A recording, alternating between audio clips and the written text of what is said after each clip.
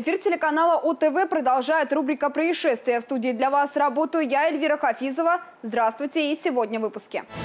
В Златоусте вспыхнул частный дом. Говорят, умер от непотушенной сигареты. Хозяин жилища скончался. И у нас решается сыном судьба и жизнь. Я, я не знаю, нам, нам некуда идти. И я считаю, я уверен в своей правоте. С вещами на улицу отца-одиночку выселяют из квартиры. Почему? Ремни безопасности есть на машинах? А, на, сиденье, на сиденьях, смотрите. Ни ремней безопасности, ни тахографа. Автобус с иностранцами задержали в Челябинской области. И в начале выпуска крупный пожар в Златоусте унес жизнь 82-летнего пенсионера. Там загорелся частный дом. Хозяин жилища не смог выбраться из полыхающего строения.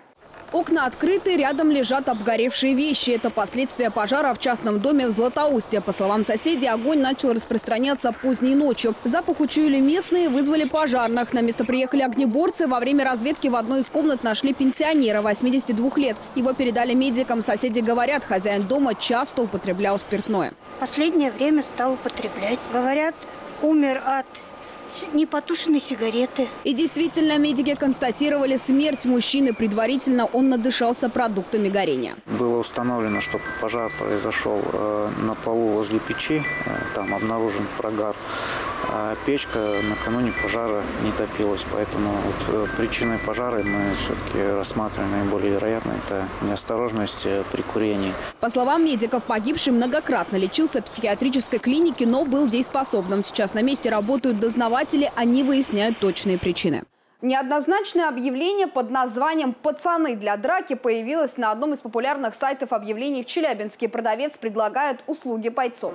Услуги оказывают парни, судя по объявлению, в возрасте от 15 до 18 лет. Продавец пояснил, что если заказать одного человека на час, стоимость 200 рублей, а если несколько, действует скидка. Продавец заверил, бойцы профессиональные, могут как запугать, так и избить человека. Свободные часы с 5 до 9 вечера. Не исключено, что этим объявлением сейчас заинтересуются полицейские. Напомню, в начале февраля в Челябинске на известном интернет-сайте решили продать маленькую девочку. Фотография ребенка появилась в разделе «Посуда». Причем автор оценил ребенка в 5000 рублей. На объявление сразу отреагировала полиция. Ведь речь шла о продаже несовершеннолетнего. После тщательной проверки выяснилось, таким образом решил пошутить старший брат малышки. С родителями провели беседу.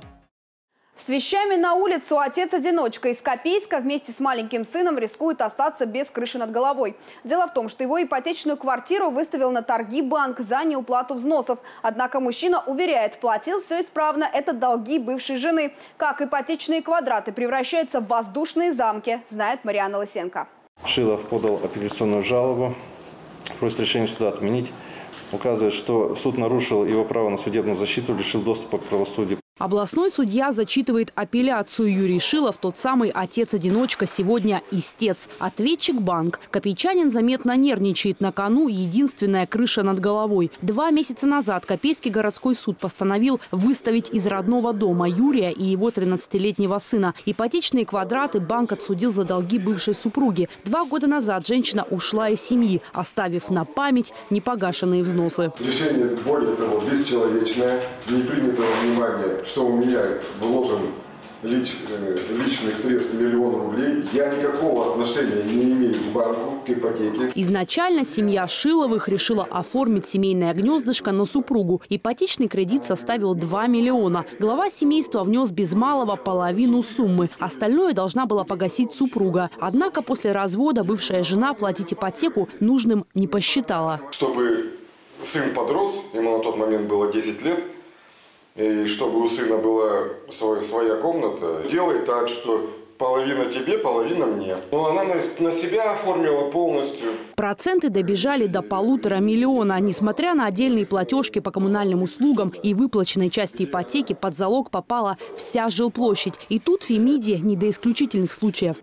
Решение Копейского городского суда Челябинской области 13 ноября 2019 года оставить без изменения апелляционную жалобу Шилова Юрия Владимировича без удовлетворения. Приговор суда фактически развязал руки банку. Теперь квартира вправе уйти с торгов, начиная с сегодняшнего дня. Поэтому отцу с сыном остается ждать прихода приставов решение очень, мягко сказать, несправедливое. то, что я подал апелляционную жалобу, что оставили без изменений решение Копейского суда, фактически я и мой несовершеннолетний сын остаемся на улице.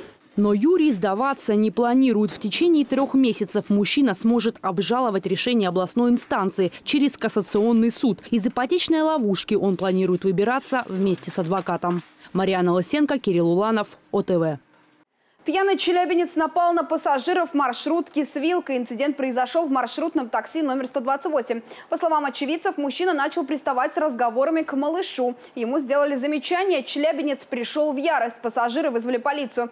Те, кому он угрожал, вышли на остановке, а Димашир продолжил дальше махать ножницами и угрожать другим пассажирам. Мама с ребенком написали заявление в полицию. Проводится проверка. И в продолжении темы дорожных происшествий. Две «Газели» не поделили дорогу в Ленинском районе Челябинска. От удара одна из машин вылетела в столб электропередач. Есть пострадавшие, и это не единственное дорожное происшествие на Южном Урале. Подробнее расскажет наш корреспондент. Челябинск, улица Гагарина. Картина по-настоящему жуткая. Искореженные машины преградили улицу. По данным ГИБДД столкнулись две «Газели». Водитель одной из машин протаранил впереди идущий молотонник. От удара машина предполагаемого виновника аварии вылетела в столб. В результате аварии травмы получила пассажирка первой «Газели». Ее забрали медики. Добавлю, водитель, предполагаемый виновник, от медосвидетельствования отказался. Сейчас сотрудники ГИБДД проводят расследование. Снова Челябинск, перекресток улица Агалакова и Гагарина. На кадрах видно, ВАЗ 12 модели пытается успеть проскочить на желтый сигнал светофора, но не успевает, в итоге удар. Информация о пострадавших не поступала. А вот этот дорожный конфликт произошел между таксистом и пассажирами. По словам очевидцев, две девушки и мужчина вызвали такси. Попросили их довести до дополнительного адреса. Перевозчик якобы отказал в грубой форме и даже будто бы выгнал из машины. Начался словесный конфликт. После все участники инцидента переместились на улицу. Завязалась драка. Пассажиры написали заявление в полицию. Инцидент там подтвердили. Правоохранители возбудили уголовное дело на таксиста. Добавлю, по словам полицейских, пассажиры были в алкогольном опьянении. Ремни безопасности есть на машинах? А, на, сиденьях, на сиденьях, смотрите. Ремней безопасности не оказалось и еще множество нарушений. Этот автобус с иностранными номерами задержали в Троицком районе. Решили проверить документы. Оказалось, водитель везет людей из Среднеазиатской республики в Челябинск. Внутри салона ехали 14 иностранцев. Оказалось, у водителя отсутствует еще и тахограф. По данному факту водитель привлечен к административной ответственности за управление без тахографа по части 1 статьи 11.23, а также за управление транспортным средством при наличии неисправностей по части 1 статьи 12.5 Кодекса об административных правонарушениях. Добавлю, нарушение исправить на месте было невозможно. Маршрутку развернули и отправили обратно. А пассажиры поехали в Челябинск на рейсовом транспорте. Денис Киселев, Эльвира Хафизова, ОТВ. Скандал между покупателями и продавцами крупной торговой сети разгорелся в Челябинской области. Клиенты заверили, на чеке вес каждого продукта после покупки был преувеличен на 200 граммов. На 200 грамм вас обманывают. Везде прописка. На каждый товар 200 грамм, 150 грамм. Это видео сняли возмущенные покупатели. По словам клиентов, они пришли в торговую точку купить продуктов, набрали овощей и фруктов. Кассир назвала сумму, но местным жителям она показалась завышенной. Покупатели решили повторно взвесить товар на контрольных весах. Каково было удивление, когда граммовка на чеке и контрольных весах отличалась на 200 граммов. У вас каждые весы. У вас весы, весы Каждый на 200 грамм, на 150 грамм больше Понимаете? В смысле не соответствует? показывают. То есть контрольные весы показывают. Правильно? Нет, так оно сейчас столько и показывает, сколько на контрольном. К конфликту подключился администратор магазина, решила самолично проверить. Весы внезапно оказались исправны. А почему так сейчас сразу стало, когда мы обратились? Я не могу понять, почему как так быстренько 200 грамм ушло. В итоге администрация супермаркета сделала возврат и отдала деньги клиентам. В общей сложности покупатели вернули 300 рублей разницы. Это были самые громкие происшествия за день, а я с вами прощаюсь. Будьте внимательны и осторожны. С вами была Эльвира Хафизова. Увидимся на телеканале ОТВ. Не переключайтесь.